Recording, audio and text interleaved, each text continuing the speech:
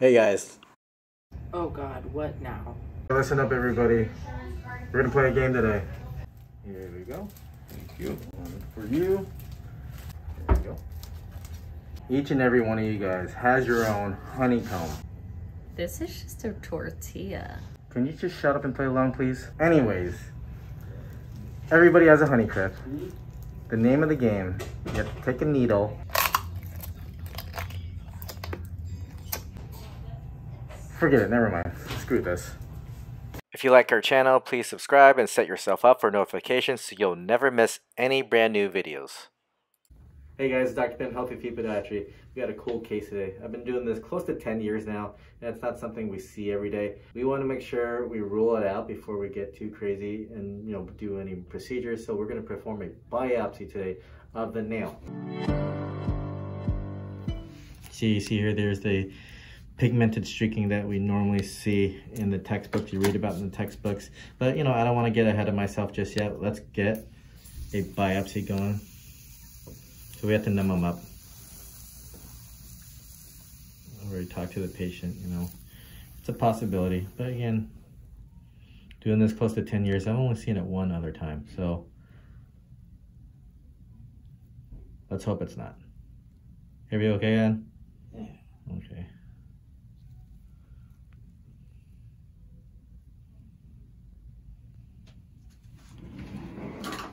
One more.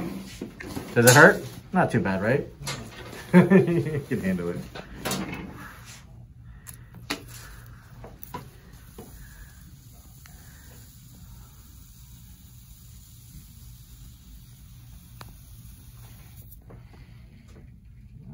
Okay.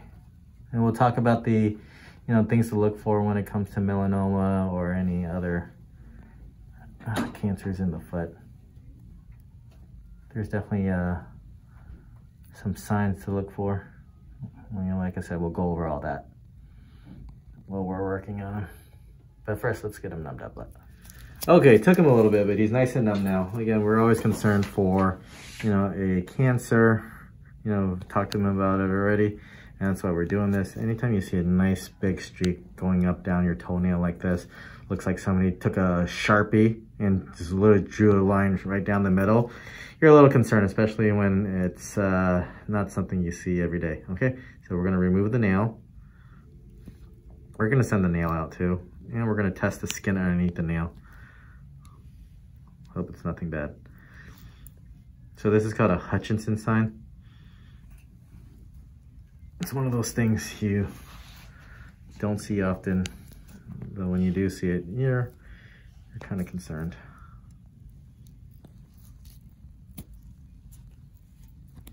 Otherwise, perfectly healthy guy. He's noticed for a year. And it's been, it's been, uh, it's just been there. I decided to get it checked out today. Has it changed colors on you? Is it like changing colors or anything?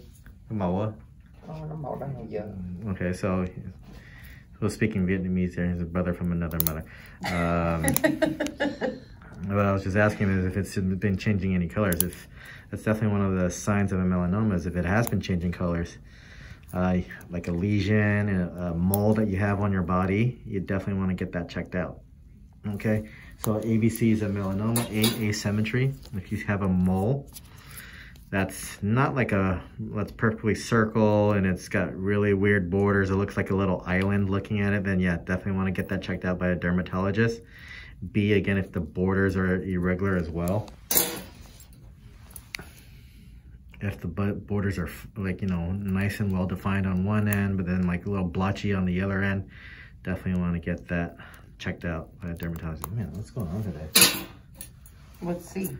C is color color. Okay. Yeah, if it changes colors on you, right? That's why I ask him if it's been changing colors on you, like if it's brown one day and then like, you know, two weeks later it's like... Black. Yeah. Uh, let's see what's underneath this nail here. It's hard to say. Did you ever hit it? Uh, You ever dag You ever kick anything? Um, I don't know. You don't know? Maybe maybe uh, I play tennis and maybe Tennis? I run and Oh, maybe. toes Maybe. Run into the Yeah. shoe. Yeah. to the shoe. I don't know. So let's get a closer inspection of this nail bed and see if there's anything underneath there. Hmm. Is that something there? Is that That's black, black, yeah. Yeah, so we're gonna get a little big nail biopsy of that, okay? They're always a little concerning what's in the skin. Sometimes, um, sometimes when you damage your nail, like a subungual hematoma, the, the blood dries up and it just sticks onto the nail and you take the nail off and you're like, oh, okay, you got a clean nail bed, but it's actually in the skin here, so that's a little concerning. So we're gonna a little biopsy, punch biopsy. Little, it's like a little, little hole punch. Literally just shove it into the skin and it takes a piece of the skin out.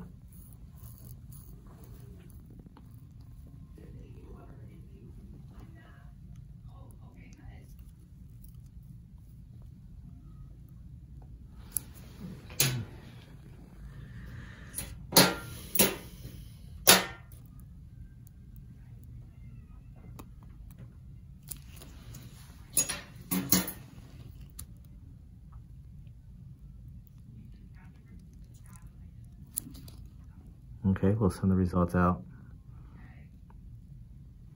So that's what it looks like when we take a whole punch of the skin right there. So we're gonna send this out. Hopefully, like I said, it's nothing.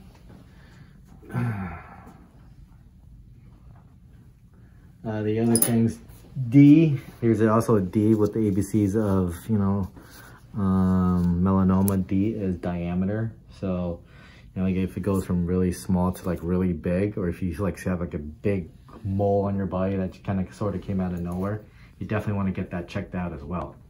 Okay. Strictly speaking, a lot of patients in the African American population will have like that pigmented streaking, uh, but not that dark. You'll see it on multiple nails. Um, so if you see it on one nail, and especially if you're not in the um, Afro-American darker pigmented population, yeah, you're definitely a little bit concerned. We'll come back in two weeks. We'll check on the results, okay, Ann? Yeah. It's two weeks later. We got the results of the biopsy, and we have good news. Nothing bad. Everything good. I was gonna call you They're good, yesterday. they're good, thank I was gonna call you yesterday, but I saw you you were coming in. I was like, okay, we're just uh, share the news at the same time too. So if we look at the diagnosis, remember we took a biopsy of the nail and biopsy of the skin, negative for malignant melanoma. So that's great. And the other thing that we're worried about, uh, also melanoma in the nail, Fontana Masson stain fails to demonstrate melanin pigments. The only thing he has is fungus. So yeah, fungus. That's that's actually a really good thing. I'm very happy that it's nothing bad. Let's see how it's healing. It's actually healing really well. Okay.